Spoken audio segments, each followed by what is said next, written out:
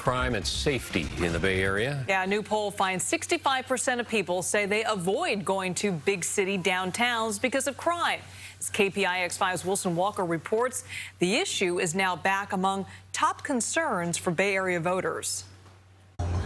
We, we are standing right across the street from the Louis Vuitton uh, store that, that got looted as a San Francisco resident, Pat is familiar with what happened in Union Square, but he says the real problem is car break-ins. Does he think crime is getting worse? Here in Oakland, absolutely.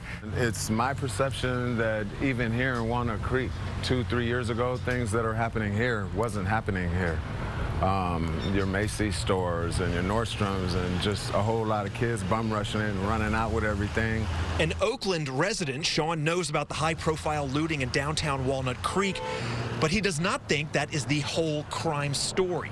So for me, no, I don't think crime has increased. I just think that there's different levels of it, and we have technology that is exposing it now.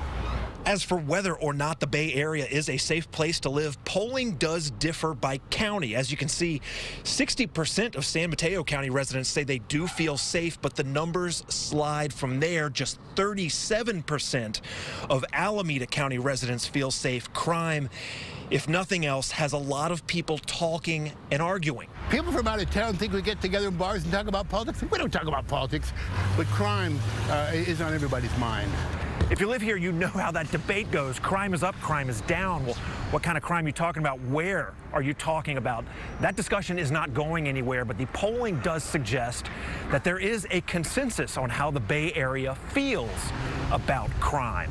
I think if you ask a lot of folks in our cities, you know, they either personally have had their car broken into and the glass smashed, or their best friend or their neighbor or family member has. Jim Wunderman is president and CEO of the Bay Area Council. He says crime was once a trailing concern in their polling. Now it ranks third on the list of most important problems facing the region just behind the mainstays.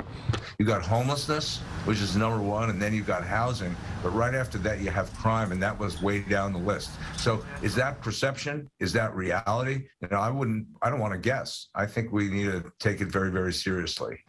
There is still a lot of police presence in Union Square as the city tries to signal safety there. Walnut Creek, of course, did the same, but the polling suggests that crime is still on a lot of Bay Area minds. Here in Walnut Creek, Wilson Walker, KPIX 5.